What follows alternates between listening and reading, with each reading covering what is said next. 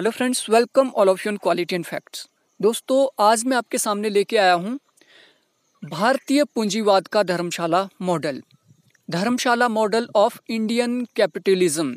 ये क्या है? ये थ्योरी किसने दी है? इसके बारे में हम डिटेल में चर्चा करेंगे, क्योंकि ये क्वेश्चन कई बार नेट के अंदर आ चुका है यूपीएससी में भी ये पूछा जा चुका है, और स्टेट पब्लिक सर्विस कमीशन में भी ये पूछा जा चुका है, और कई बार ये इंटरव्यूज़ में भी पूछा गया है। तो दोस्तों, सबसे पहले अब मैं आपको बता दूँ, ये जो थ्योरी है, ये जो कॉन्सेप्ट है, ये जो आइडिया है, ये राजकृष्ण ने दिया है। राजकृष्ण। राजकृष्ण राज कृष्ण एक इंडियन इकोनमिस्ट, एक इंडियन फिलोसोफर है। तो धर्मशाला मॉडल से आप क्या समझते हैं? बेसिकली अगर मैं आपको आ, बात करूँ तो धर्मशाला और पूंजीवाद को अलग अलग करके अगर आप इसको समझोगे तो आपको जल्दी ये समझ में आ जाएगा। तो सबसे पहले धर्मशाला को समझते हैं। धर्मशाला का मतलब क्या होता है? जैसे बोलते हैं ना लोग ये मेरा घर है कोई धर्मशाला नहीं है कि यहाँ पे आ जाते हो और आ, हमेशा यहाँ यहाँ पे पड़े रहते हो। ठीक है? तो राजकृष्ण का मतलब धर्मशाला से वही धर्मशाला है जिसको रैन बसेरा कहा जाता है जहाँ पे लोग आ, कुछ टाइम के लिए अपना आ, चले जाते हैं टाइम बिताने के लिए धर्मशाला के अंदर ठीक है? और पूंजीवाद से तो आप समझते हैं कि पूंजीवाद का क्या मतलब है? जहाँ पे प्रोडक्शन की जाती है जहाँ पे कैपिटल बनाई जाती है वो है कैपिटलिज्म तो ये बात है 1950 से 1980 की। 1950 से लेके 1980 की ये बात है जवाहरलाल नेहरू उस टाइम उन्नीस सौ पचास से बासठ तक हमारे प्राइम मिनिस्टर रहे थे और जवाहरलाल नेहरू ने क्या किया? उन्होंने सोशलिस्टिक पैटर्न ऑफ़ इकोनॉमी अपनाया, ठीक है?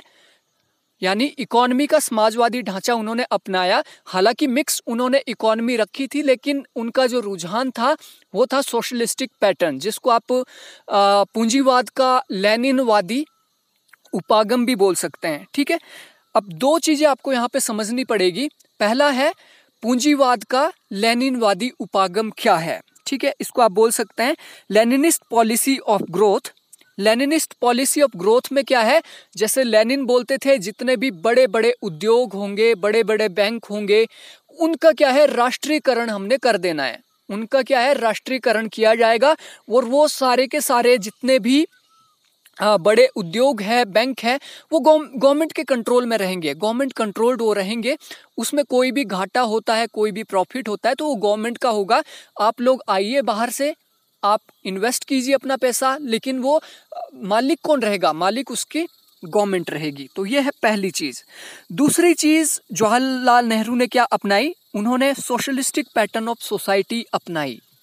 अब सोशलिस्टिक पैटर्न ऑफ़ सोसाइटी से क्या मतलब है? यानी सोसाइटी का समाजवादी ढांचा। समाजवादी ढांचे में क्या होता है? समाजवादी ढांचा एक इकोनॉमिक बेस पे समाजवाद चलता है। हालाँकि साम्यवाद, जो कम्युनिज्म चाइना में है, साम्यवाद एक पॉलिटिकल एजेंडा है और सोशलिज्म एक इकोनॉमिक एजेंडा है। तो इन्होंने क्या किया? इन्होंने सोशलिस्टिक पैटर्न ऑफ़ सोसाइटी को अपनाया। सोशलिस्टिक पैटर्न ऑफ़ सोसाइटी में क्या होता है कि भाई ये पूरा देश जो है, ये समाज का है। ये क्या है? राज्य कंट्रोल होगा। इसके ऊपर सभी लोगों का इक्वल हिस्सा होगा। समाजवाद में यही होता है ना कि सबका इक्वल हिस्सा है तो उन्होंने सोशलिस्टिक पैटर्न ऑफ़ सोसाइटी अपनाया। और लाइसेंस राज के नाम से आप जानते होंगे इसको। इसमें हुआ क्या मेनली इसको क्यों बोला धर्मशाला कैपिटल अब देखो, पूरा का पूरा देश क्या बन गया? पूरा का पूरा देश जितने भी उसमें उद्योग थे, वो चले गए गवर्नमेंट के कंट्रोल में। यानी व्यक्ति का कोई पर्सनल बिज़नेस नहीं होगा। जैसे धर्मशाला आपकी पर्सनल नहीं होती ना, आप कुछ टाइम के लिए वहाँ पे जाते अपना टाइम बिताते और चले आते हैं। वैसे ही इकोनॉमी जो थी इकोनॉमी के अंदर जो बड़े बड़े इंस्टीट्यूशन है, बड़ी जो इकोनॉमी है, वो गवर्नमेंट के अंडर है। एज अ धर्मशाला की तरह की आप आइए और वहाँ पे काम कीजिए। अगर आपकी प्रोडक्शन अच्छी होती है तो आप यहाँ पे रहिए अदरवाइज़ आप यहाँ से चले जाइए। ठीक है? तो ये दो चीज़ें आपको यहाँ पे याद रखनी थी। पहली, उन्होंने लेनिनिस्ट पॉलिसी ऑफ़ ग्रोथ अपनाई और दूसरी, उन्होंने सोशलिस्टिक पैटर्न ऑफ़ सोसाइटी अपनाई। उसके कारण हुआ क्या? सारे के सारे जो उद्योग थे, वो गवर्नमेंट के कंट्रोल में आ गए और जितने भी बिजनेसमैन थे, उनका कोई पर्सनल अपना बिज़नेस नहीं था, वो धर्मशाला की तरह यूज़ कर रहे थे बिज़नेस को अपने प्रॉफिट के लिए, ठीक है? जैसे धर्मशाला में जाते, अपना प्रॉफिट हुआ, जितना भी प्रॉफिट है, कमाओ। दूसरी चीज़ इसमें इंपॉर्टेंट थी, अगर कोई घाटा होता है किसी बिज़नेस को अगर कोई घाटा होता है तो उसकी भरपाई बिजनेसमैन नहीं करेगा, क्योंकि उसका पर्सनल तो वो है नहीं।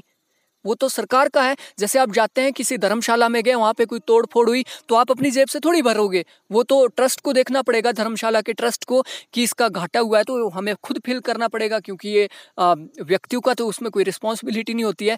वैसे ही सरकार ने क्या किया, जो भी बड़े बड़े बिज़नेस डूबते चले गए, उसकी पूरी जिम्मेवारी गवर्नमेंट ने उठा ली। क्योंकि वो धर्मशाला तो गवर्नमेंट के अंडर थी लाइसेंस राज था उस टाइम ठीक है? उसकी वजह से ही राजकृष्ण ने इसको क्या दिया धर्मशाला मॉडल, पूंजीवाद का धर्मशाला मॉडल का नाम दिया, क्योंकि आप देखोगे 1950 से लेके 1980 तक उन्होंने जो स्टडी की है, उसमें उन्होंने पाया कि इंडिया की जो ग्रोथ रेट थी जीडीपी की जो ग्रोथ रेट थी थी, वो तीन परसेंट से ऊपर नहीं गई। थ्री परसेंट से ऊपर नहीं गई और उसका यही कारण था कि लोगों ने धर्मशाला की तरह यूज़ किया इकोनॉमी को।